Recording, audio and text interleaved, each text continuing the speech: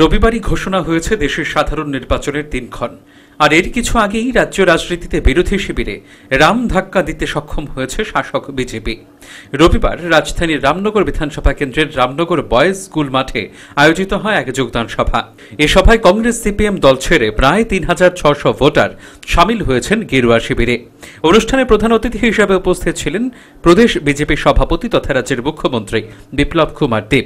দেশের প্রধানমন্ত্রী নরেন্দ্র মোদীর বিজেপি সরকার দেশের মানুষের জন্য যে সমস্ত প্রকল্প হাতে নিয়ে কাজ করে চলেছে তা বিস্তারিতভাবে তুলে ধরেন তিনি।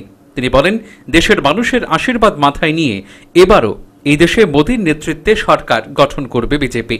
আর মোদীর দেখানো পথে যেভাবে দেশ এগোচ্ছে, তাতেই মানুষ দলে দলে বিজেপিতে যোগ দিচ্ছে। একদিকে নরেন্দ্র ভাই মোদী, মহিলা সম্মান, ভারতবাসীর সম্মানের জন্য যে কোনো স্কিম লাগু করেন, যেমন বেটি বাঁচাও, বেটি পড়াও।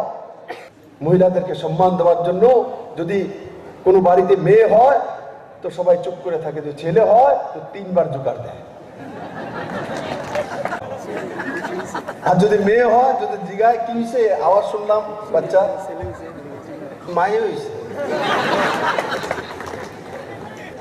সেটাও ভুলে গেলেছিল যে যে পুরুষ বা যে মহিলা বলছে, মাইয়া হয়েছে সেও কোনো মার ঘরেই জন্মগ্রহণ করেছে। নরেন্দ্র ভাই মোদী সেই দিশায় কাজ করেছেন। বলেছেন, বেটি বাঁচাও, বেটি পড়াও এই দেশে যদি বেটি না থাকে,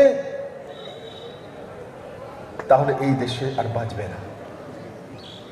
এখন আর কেউ যদি তার ঘরে মেয়ে হয় ও চুপ করে থাকে না, মেয়ে হলো বলে আমার তিন তিন জুকার হয়, ছেলে হলো তিন জুকার নরেন্দ্র মোদী সেই দিশাতে কাজ করে, মহিলা সশক্তিকরণের কথা বহু প্রধানমন্ত্রী বলেছেন, বহু নেতা বলেছেন কিন্তু কাজে কেউ করেনি মোদিজি করে দিয়েছে রামনগর বিধানসভা কেন্দ্রের বিজেপি বিধায়ক সুরজিৎ দত্তের নেতৃত্বে বিজেপি দল যে রামনগরে আরও শক্তিশালী হচ্ছে তা রবিবার ফের একবার দেখেছে রামনগর এলাকার লোকজন।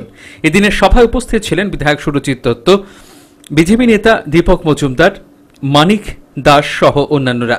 দলত্যাগীদের দলে বরণ করে নেন মুখ্যমন্ত্রী Biplab Kumar Deb.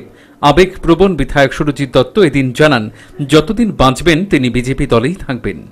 Bureau report, headlines Tripura.